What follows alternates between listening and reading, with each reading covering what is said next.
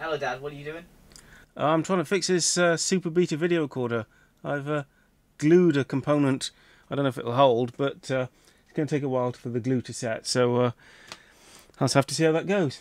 How about you play with this box of goodies while you have it? Oh, well, I'm waiting for the glue to set. I suppose I could. Uh, do you know what's in this? No. Oh, all right then. Let's uh, have a rummage. Thank you, Alex.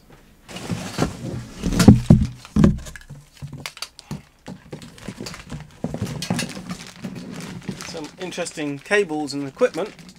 Let's empty it all out onto the desk. Right, let's start with uh, something quite random. Seems to be a little tripod here. Nothing terribly uh, fancy, but uh, it's a nice lightweight tripod. Got a quick release top. And quite importantly, whoops, it's got the top, because of course if that's missing it's a pain. And they're always different. It's not like these things have been standardised. I don't know why they can't standardise those. That looks different to the one that you're sat on, uh, which is from Manfrotto. Uh, this is uh, something a little cheaper, I suspect. And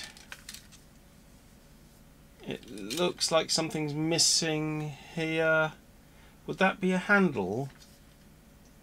I'm guessing. That would be the handle that winds it up and down.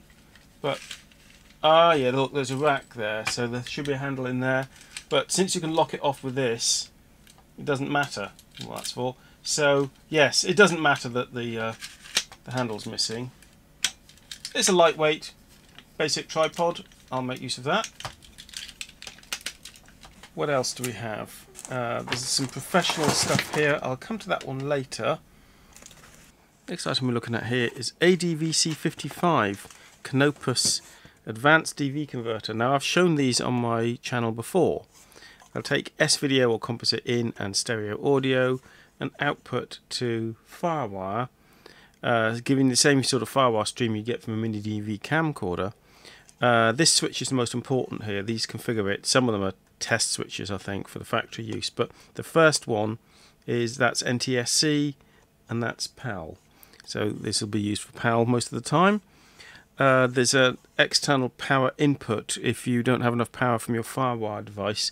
Um, and I have used that on occasion on one or two of these before. What cables have you got with it? Some Firewire cables. So that would be if you wanted to connect to, say, a laptop, which only has a small Firewire input, and that's the large to large, which we will use on this computer in a minute and give it a whirl and do some capturing with it.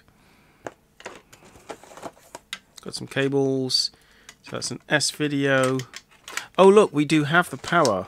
Ah, so that'll be a 5 volt power supply, 3 amp, complete overkill for what it's doing and that then will fit this and I believe it's quite safe to have both that and the Firewire cable connected as such.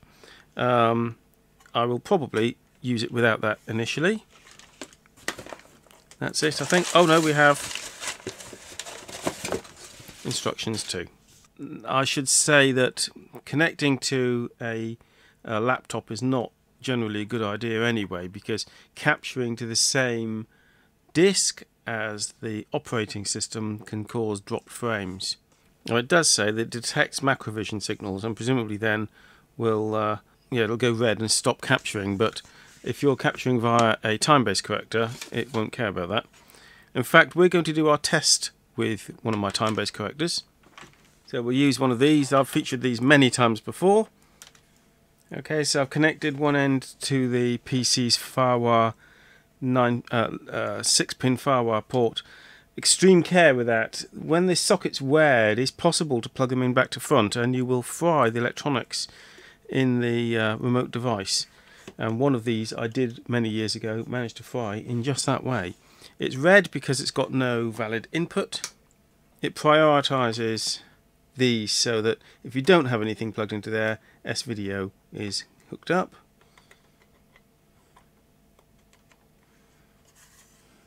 Right, we're now green on there and we can capture on this computer. We're going to use the WinDV app which is a, free and capable, but somewhat elderly and not recently updated uh, DV capture uh, tool. Really like this and do wish it had been kept up to date. Right, so I have the uh, Canopus ADVC55 here, connect this time-based corrector which I'm going to power up with a colour bar test signal. Still got a red light on there. I started up WinDV and I'm just going to try capturing and that's gone green and we'll see up there that we have the color bars being displayed and it's rolling here the time and Q is zero because it's a reasonably fast computer and drop frames is zero. So that's capturing now. Okay I'm not capturing any audio. I've got video only of the color bars. I'll just cycle through the color patterns here. You can see those. And that file will if I cancel there now exist. And I can play that uh, file here including the bit at the end where I step through the colors so that has captured successfully proving that this is a good working Canopus device now we can go into this whole argument again about whether DV is a good um, data format for video. And I don't want to have too much of an argument about this.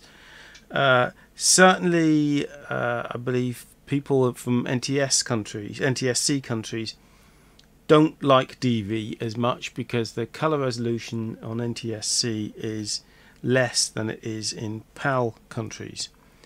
Um, there are more efficient capture codecs, but a great deal of what I produce anyway comes from mini DV and digital 8 and I'm, I'm capturing that directly from those players so I'm already producing files of the DV uh, stream and this is just another way this for other formats for the analog formats providing files of the same type uh, Furthermore, it's a good deal better than the heavily compressed files you'll get from these little, you know, cheap and cheerful USB capture devices.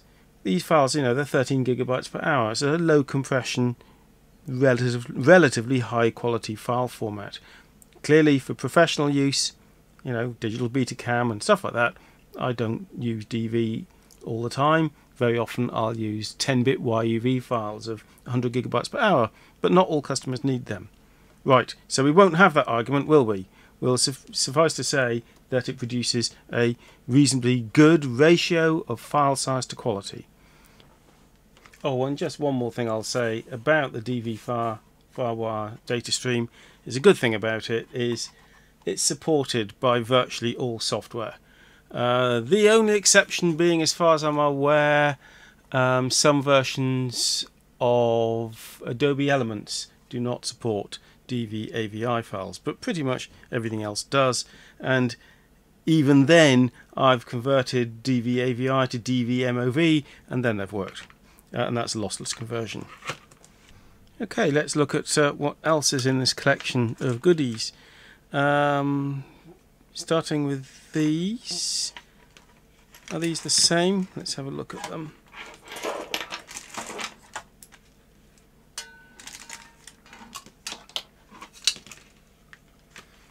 So it's AJA dual rate HD SD audio video AD converter and from the same manufacturer four channel balanced audio embedder disembedder.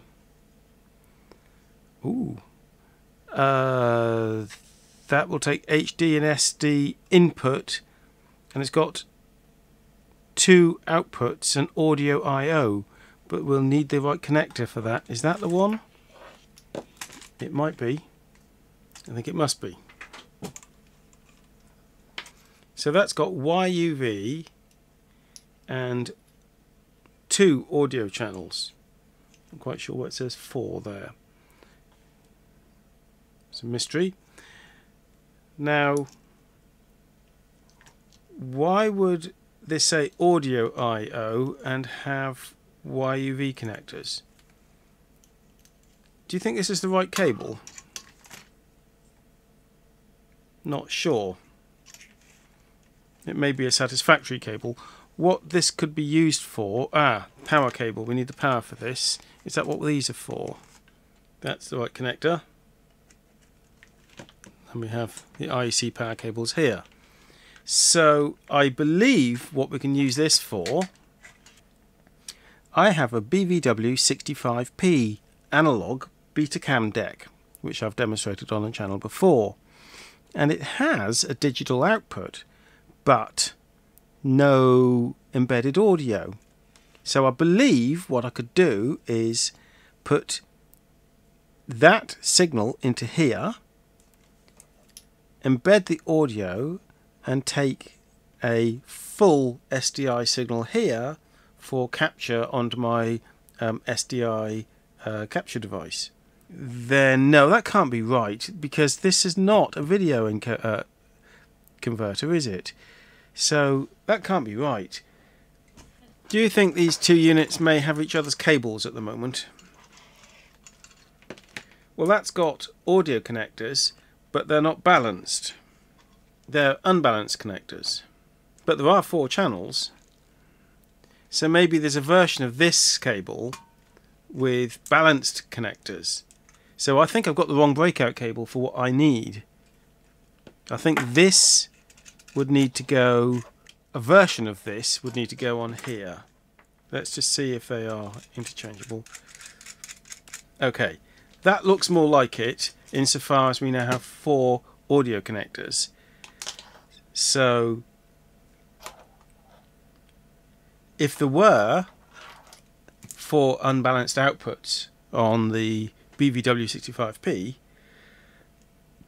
that would allow me to embed the audio in here. But there aren't.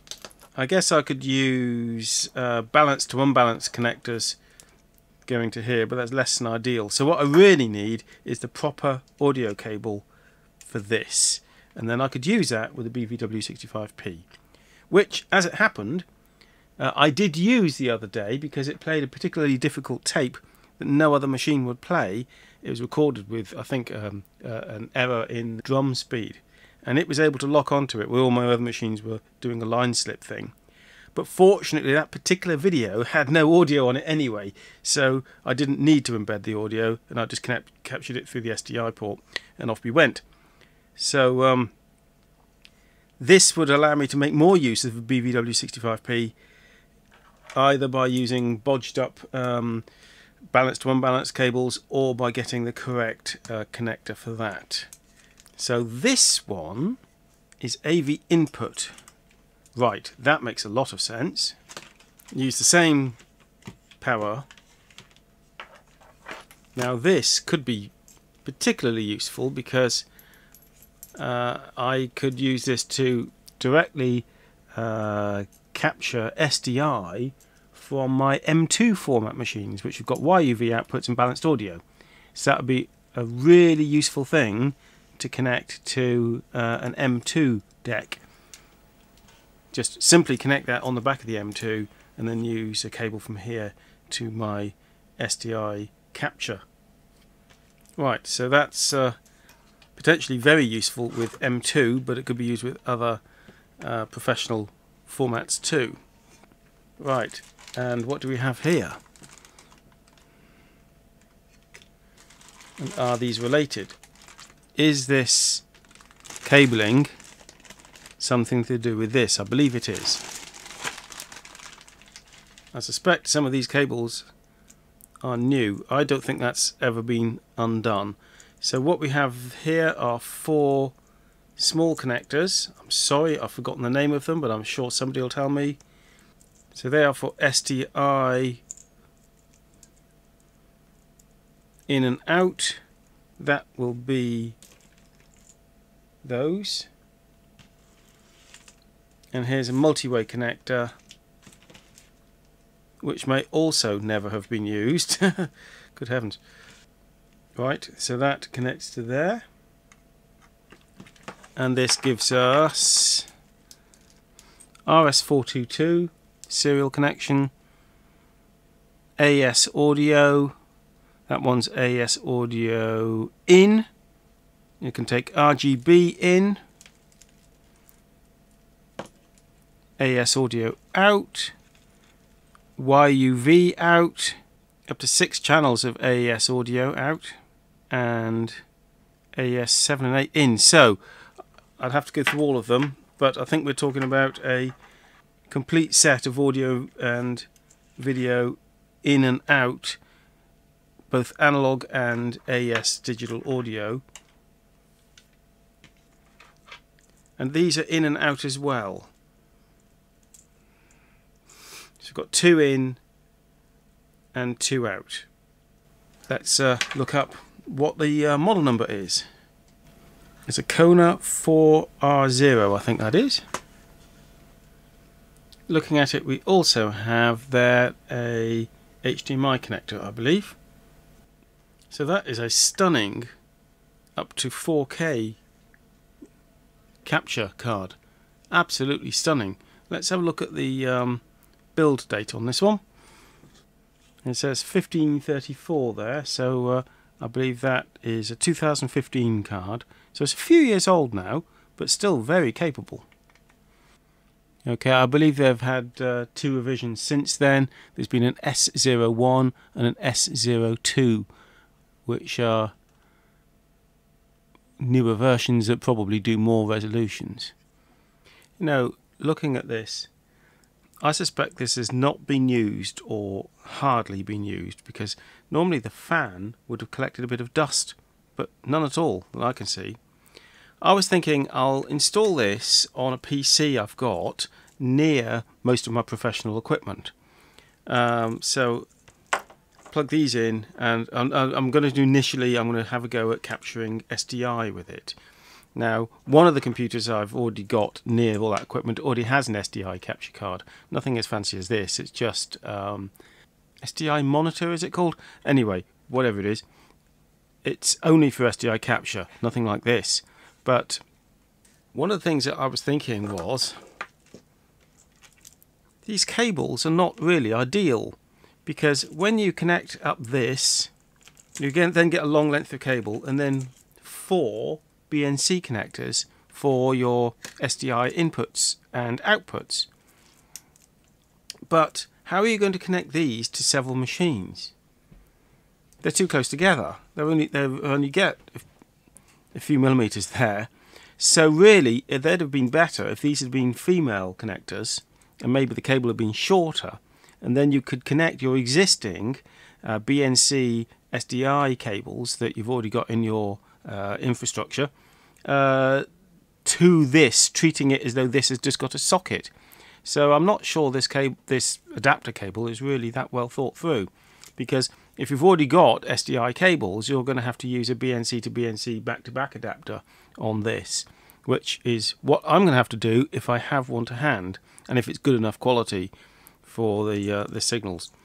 But the other difficulty I've got, which is more severe, the computer I'm going to be installing this, in is old uh, and it's not the fastest and it may not be fast enough to keep up with the data rate from this. So we'll give it a whirl, but I may end up really having to use it with a better computer later.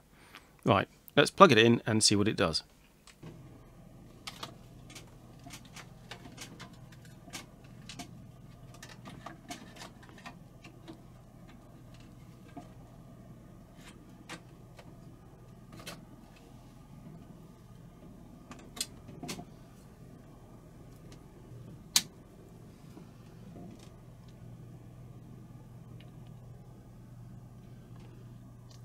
I've just made a terrible mistake. I'd asked the computer to switch off, but it hadn't fully. And I've just inserted the card. I mean, as mistakes go, they don't come up much bigger than that. You do not. That could have blown up any number of things. But I had. Oh. It could have blown up the computer, it could have blown up the card, it could have blown up both.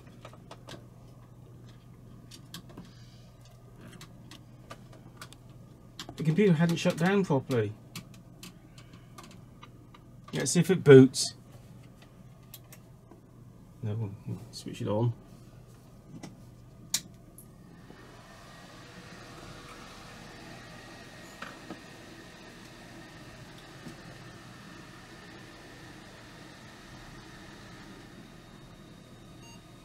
That's post power self test. So the, the computer survived. Well, while that's hopefully booting, let's connect these up.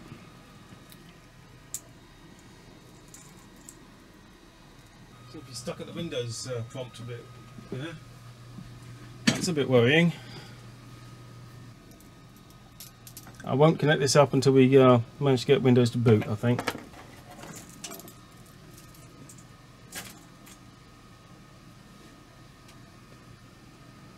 It's not happy, is it? Switch it off. Take the card out. This time it really is very off. That looks better. Right, so let's power the computer down again and try the card again. That's the position it was in when I accidentally inserted the card last time. The machine is off, but the power supply fan is spinning. Now maybe it wasn't powered up. Maybe I was okay. Maybe it was just that the power supply's just on the cooling cycle there. Maybe I did nothing wrong. No, we cannot boot the computer with that card inserted. Maybe it's down to this particular computer, but it's not going to happen. Right, okay, we'll take it out again and um, we'll have to try it on another computer another time. Well, we have a slot available in this old machine. Uh, actually, this might be slightly faster than the original target machine as well. So uh, let's uh, see if it'll boot with this card installed in here. Okay, I've installed the card in this machine here and we'll see the results on that upper screen there if it works. Looking happier. It's just done a reboot I wasn't expecting. Do you think maybe it consumes more power than the uh, power supplies are capable of? Aha. Uh -huh. Maybe it was just a Windows Update thing. It says multimedia video controller. Okay. I think we need to install some drivers.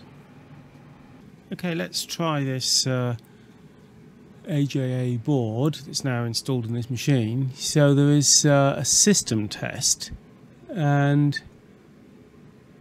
device test. So we want a device test. Yes, we want to check that it works. Uh, we've failed. It says device DMA test failed. Does that mean maybe the computer's just not fast enough? Well, let's uh, actually try doing a capture with it. Uh, which I think you do under control room. Right, so quick look over here we have our HDCam SR machine set up with a tape in it so in a moment I'll press play on that and we'll see if we can capture that via the SDI cable that I've now hooked up. I didn't have a back-to-back -back connector so I've used a, a, switch so you know it's not ideal but uh, it's what we have right now. Okay so I'm playing the HD HDCam SR tape where we get a preview that's a good sign so uh, how do I start capture? This button here uh, it says where do I want to save the file I believe we are actually capturing. Uh, I don't believe there is any audio on this tape, so it's not surprising we don't see anything on that. Right, so I've demonstrated the Canopus capture device, the AJA SDI capture device. What we haven't tried, and I won't be trying just yet, is the audio embedder. Well, we have a problem that the cables are not quite the right type. They do include the schematics for the, the pinout for the connector. So in theory I could make up my own uh, balanced cable uh, system for that. And the other one is the uh, A to D converter, which will go from, uh, in this case, we'll be using YUV in standard definition, though this is high definition as well, and audio to SDI and that I probably will be using with the M2 machines. So it's been a great little collection of things to play with. Oh, by the way, some of the shots I did earlier were made on that uh, tripod we got in as well. So a big thank you to all the people who donated those bits and pieces to me. Uh, and I'll do plenty more content in the future on audio and video technology. Bye for now.